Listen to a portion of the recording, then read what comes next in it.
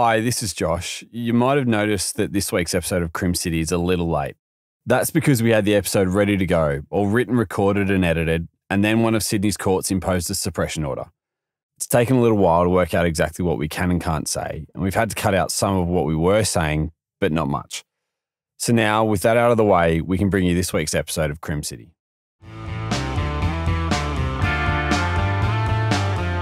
Welcome to Crim City. I'm Josh Hanrahan. I'm Mark Morri.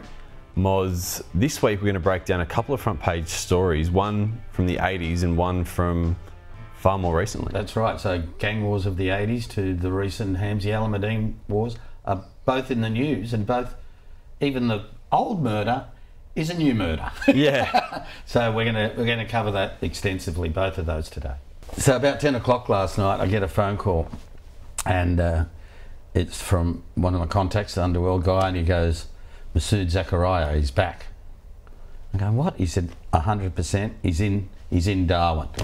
And uh, I thought, gee, I thought they'd never get this guy back. So I texted a few people, no one from the feds, no one from state police, no one was answering, all responding. Six o'clock this morning, phone goes, Federal Police Media Unit saying there's going to be an alert going out about the return we've got. Masood Zakaria, he's coming back, he's in the NT. And I said, yeah, thanks, you're about eight to ten hours behind behind my bloke. But uh, Masood Zakaria, we've covered extensively, haven't we? You know, you know a lot about him. Yeah. So this is huge news. Yeah. I, I um I woke up to your text at You two did? at two a.m. Yeah, I saw that. Yeah. Well, I went to um I was out and about yesterday afternoon and in bed early preparing for today's show, as per usual.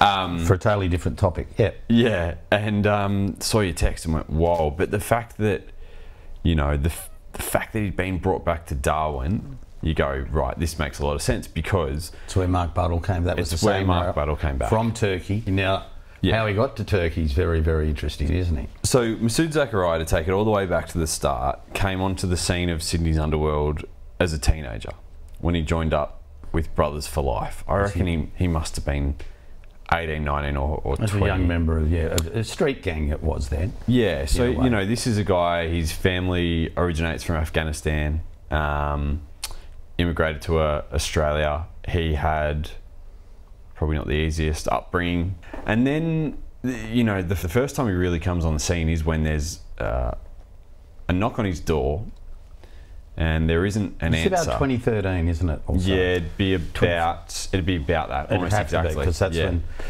So there's, there's a knock on his door, and there's not an answer, but there's some. When there's no answer, there's shots fired through the door, and they hit uh, a young relative of Masood Zakaria. Um, the bullets hit hit that young relative and leave her injured. There was a lot of shootings going around that time. As uh, 2013, as I said, people now go, "Wow, Sydney's out of control." 2013, there were bikie blues. There were a lot more shootings. So, um, just to put in context, Yeah. Brothers for Life were new, very new on the scene. Yes, and he he'd formed up. He joined Brothers for Life, that street gang run by the Hamzys, and that's an interesting thing to just park is that Masood that's initially 10 years ago. 10 years ago was part of the Hamzy gang, which was Brothers for Life at that point. Anyway, fast forward, and um, he pops up on the scene again in recent years as one of the Alleged. alleged, thank you, chief lieutenants of the Alameddine crime clan. Um, is virtually, police allege, Rafat Alameddine's right hand man. In particular, there is one incident that police reckon he's, he's They've char- you know, they char- well, well, they they will charge him for in the coming they days. took out a warrant. Anyway, Masood Zakaria in December of 2021 somehow gets wind that police are about to knock on his door. And we've spoken about this before on a, on a previous podcast, I'm sure. So, police plan this morning of raids in which they're going to arrest A number of a number of, alleged members. members yep, of the Alameddine crime clan over various alleged acts of criminality. But when they went to get him, as I said, in December of 2021, he wasn't home. He wasn't home. He yeah. cleared his, sh- his cupboards out. As I said, I heard there were, weren't even running shoes left. no. and he vanished. There were four that they didn't get, weren't there? Yeah. And Masood Chief amongst them. Yes. It's an incredible little um, time span in Sydney's underworld war that we talk about. We talk a lot about the shootings or the kidnappings, but this this vanishing act is, is quite incredible.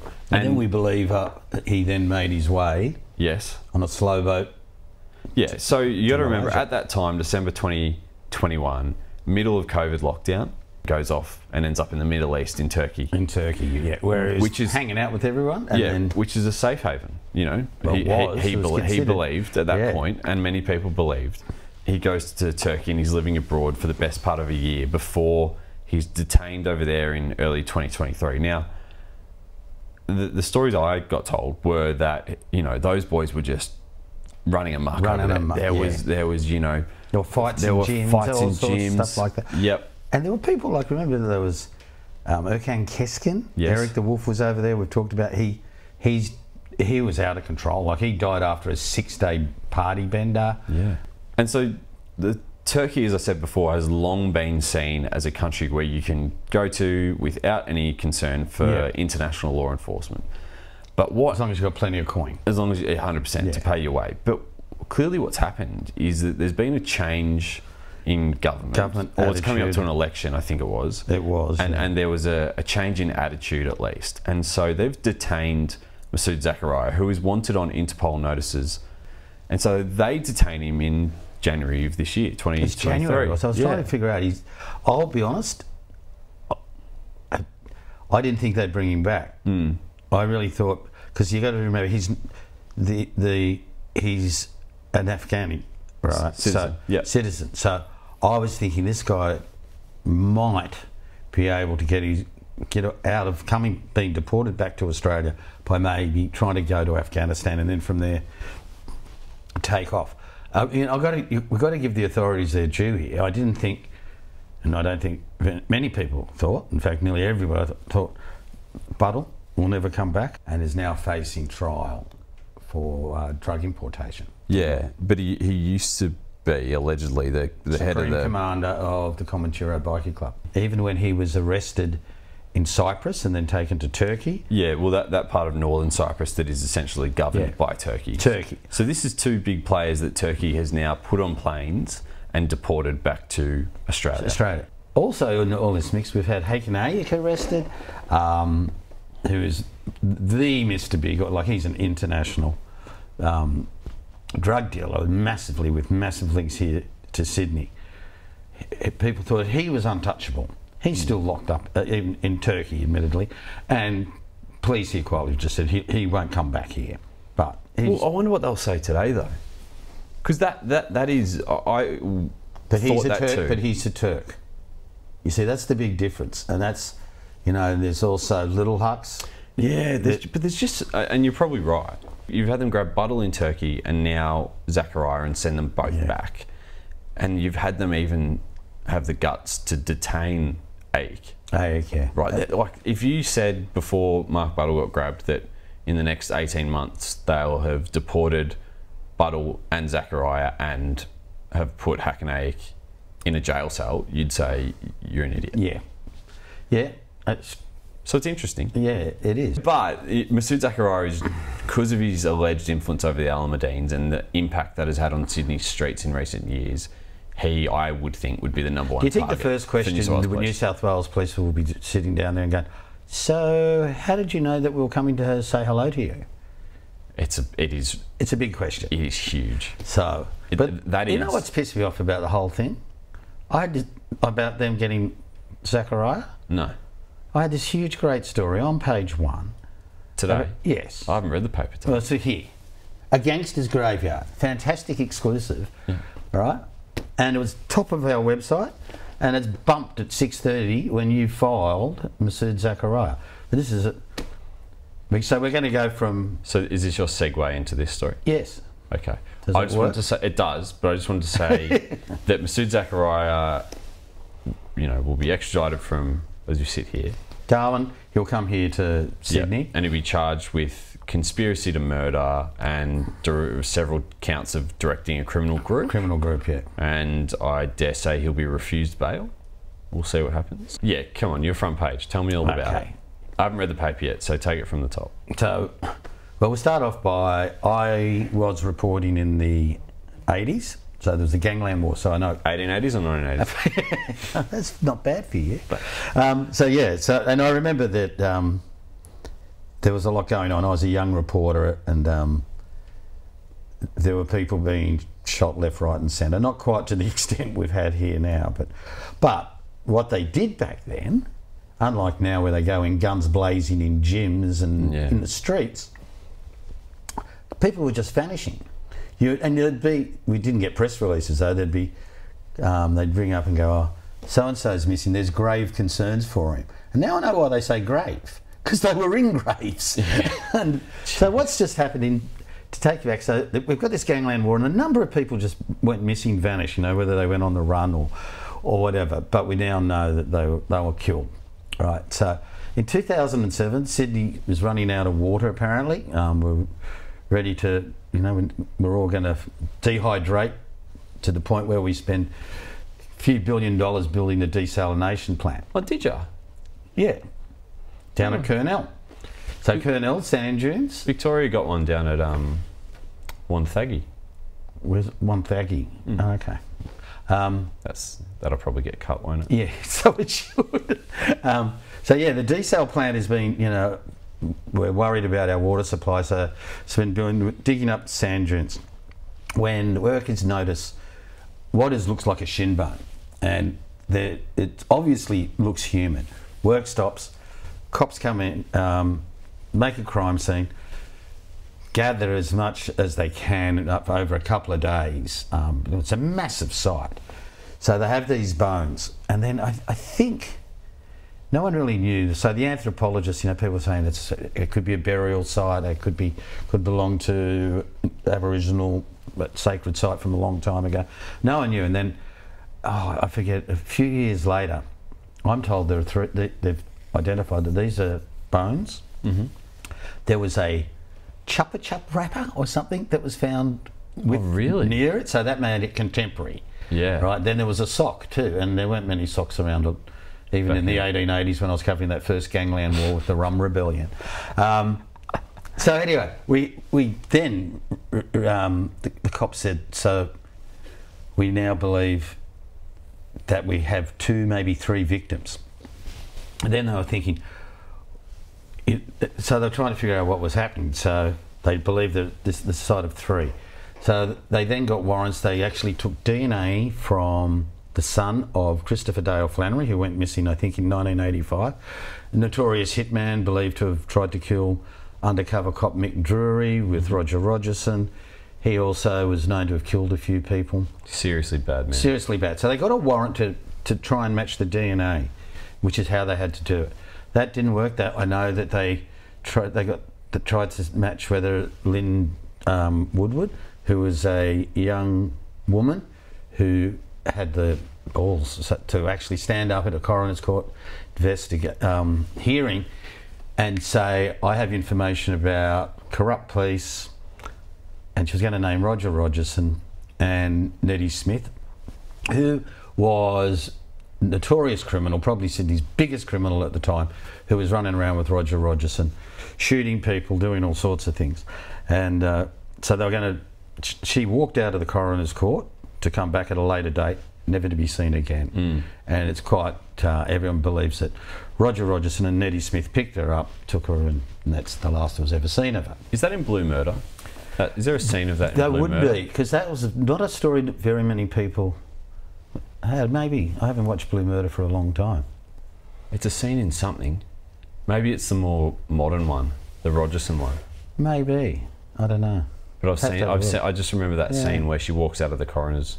Because that, it's after, that was after Sally a- Ann because Sally Ann, or Oh. Sally Ann Huckstepp, who was her flatmate, Yeah. had also given evidence, Ah, okay. and she's then found dead in a, a pond at Centennial Park. Maybe that's what I'm getting confused Yeah. with. Yeah. So anyway, we've got these bones, and police have got one, and they've tried to match them against certain missing persons and stuff. Nothing came about it. But then there's a change in legislation in 2019 which allows police to match DNA against databases Whereas previously had to be, it was really tricky legally that you couldn't just do a wide sweeping. So 2019, one of these bones comes back and it's matched to a guy called Mark Johnston. 1986, Mark Johnston, part-time model, but bigger time cocaine dealer.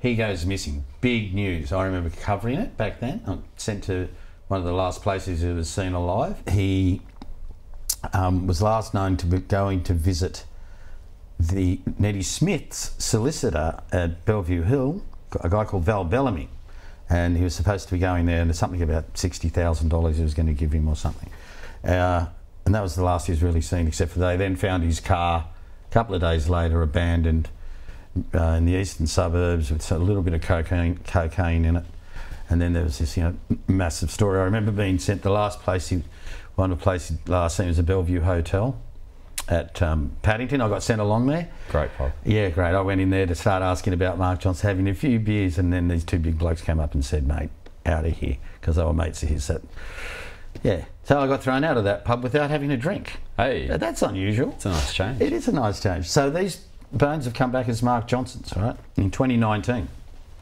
Uh, a coroner had already found that Mark Johnston had been killed, most likely at Val Bellamy's place, uh, by Neddy Smith and believed he was garroted, right? Because Neddy's picked up on secret recordings years later saying, yeah, I had to be careful not to get any blood on Val Bellamy's wife's new carpet. Hmm. So not not a nice person. So there, there we have. We've got one of these bones identified. So what we haven't known is for the last couple of years, though, police also know another set of bones. Have, they identified them as belonging to a guy called Paul Norton. Now, Paul Norton. This is your story today. This is the story today. So they've revealed after, you know, three, four years that they know this guy Paul Norton. They've been investigating this whole thing. But, but this goes back to the 80s, so it's, it's, It does, yeah, it's he- about four decades since Yeah. he died, right? Well, he he went missing in 1989, but his bones are now found in a bunch of bones with Mark Johnston, who we everybody says has been killed by Neddy Smith. Now, Paul Norton goes missing in 1989 after being at a footy match with his two young kids he'd separated. Uh, he then went and saw his girlfriend, then went and met a mate at Homebush, and then never seen again. 1989. Now his bones have turned up next to Mark Johnston's, but Neddy was in jail when he went missing. So it can't have been Neddy. So it can't have been Neddy. So it's intriguing. Now, what these cops have been able to do in the last couple, they've drilled right down into Paul Norton. You remember he was a guy, he's only 31 at the time he went missing.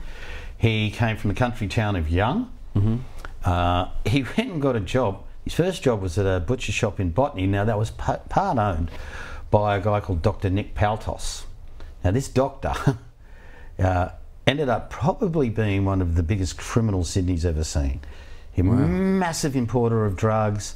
He was linked to corrupt cops, corrupt politicians, you name it. He was involved in it, involved in some of the biggest importations. And this guy goes then works in that butcher shop, and things seem to go downhill from there. He's ended up separating it with, from his wife, two kids, goes and works at another butcher shop. But unbeknownst, um, when I was digging into this and talking to some police and some other people, at the time he went missing, he was under investigation by the Drug Enforcement Agency, which was a drug squad basically that we had here. And nobody knew who this guy was, but he was playing around with some really big hitters. Now, some of the names that he was allegedly linked to were not allowed to name for, for legal reasons because they're still alive. Like Roger Rogerson. Well, we can say Roger. I don't care about Roger. Roger's a convicted killer. We can't. Do you think he killed this bloke? No, I don't. Roger, I don't, I don't think Roger did a lot of the, a lot of the, those, those sort of killings. But for the I think there are some other, some other guys who are actually just locked up now, and they're not as old as you think. yeah. Um, So the reason police think these are linked are obviously because they were all found at the same location. There's that, but also, even though Mark, uh, even though Norton and Johnston didn't know each other, up there, it, it was called the Eastern Suburbs Milieu, right? There are a whole, a whole lot of guys, and some of the names mentioned to me were guys who were well known. I know that they were involved in fucking shootouts, drive, Yeah, like right. literally down Anzac Parade. So, so they had links to big players up higher. yes, But the fact that their bones are found together, I guess that also would make you think that somebody knows that that's a place because it's years apart. Three years, yeah. So it would make you think that somebody knows that's the place where we put the other bones. So there'd Yeah. have to be some link to the previous crimes, You'd right? think that, or was poor Neddy maligned over the murder of Mark Johnston? And the, you know what I mean? Yeah, that throws okay. up some theories. That's Um, interesting. Yeah, because there's that potential. yeah, Um, right. That he didn't do it. Or the person that was who helped, you know, Neddy. Even though Neddy's a big, strong bastard, he probably needed help. He would have had a yeah. So did that person go? Oh yeah, we'll just dump it back there. But that's been solid for three years. What? Yeah. Again, this is what used to happen. See, Flannery's never been found. These two guys, it's taken, you know, a long, long time. If it wasn't for the desal plant, we still wouldn't have. wouldn't know. Um, but what, these modern guys don't do that. Yeah. We used to have this famous saying, like last seen drinking, like they'd lure them to meetings and then they'd never be seen again. Yeah, yeah. Um, so that's why there was um, two sets of bones attributed to Neddy again, found over at Foreshore Drive, which is a long way apart, but directly across the bay from Botany Bay from Kurnell. Oh, really? That Roger did. One was a guy called uh, Harvey Jones, brothel owner. I think Yeah. Neddy ended up doing. Uh, he got convicted of that one. There was another one called Bruce Sandry, or that they believe he did. But it just shows you they they, they put a lot more effort into it. I mean, these guys go in guns blazing. It's quite fascinating, as you say, isn't it? Yeah. It- just the difference in. And interestingly, the coppers went um, while Neddy's on his deathbed and took a photo along of Paul Norton, you know, he's, and said, "Do you know him?" Not so much did you kill him, but do you know him? Trying to find some connection. And the owner said that was about the one sensible answer they got from from Neddy. He said, "No, I got nothing." So you wouldn't be able to believe a word Neddy said, you know. no, no. But it brings up that, and but as I said, I, these guys, you know, you think it's a, a 30, 35 year old murder. It's a murder. There's no way this. You think it's never going to Yeah. be solved? Interesting. When they found they found his car three weeks later after he went missing, his girlfriend reported him missing at a um, Hertz rental car out at Sydney uh, depot out at Sydney Airport, full of sand. I suppose nowadays you'd be able to match that DNA, that sand to what's down at Kurnell. Yeah. So, but I, I think that they believe that potentially the killer's alive, you know? Oh, really? Yeah. Okay. I do. I, I, they're not saying a lot, they're obviously keeping it undercover, but some of the guys he was, as I said, some of the people he was mixing with who were deeply involved in in those underworld wars in the 80s, some of the are- are still around. So it's It's a great story. it is. Thanks for listening to Crim City. I'm Josh Hanrahan. I'm Mark Morri. You can catch us here weekly, also daily on the dailytelegraph.com.au and on TikTok and YouTube as well.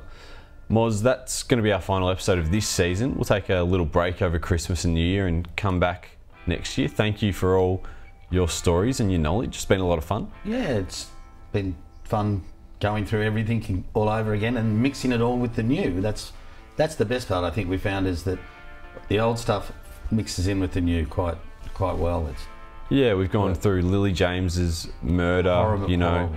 the missing children, um, Yeah. some updates to the gang war, the, the big arrests of Hakan Ayik and Bilal Haouchar overseas. So it's been a big, big yeah. eight weeks. yeah.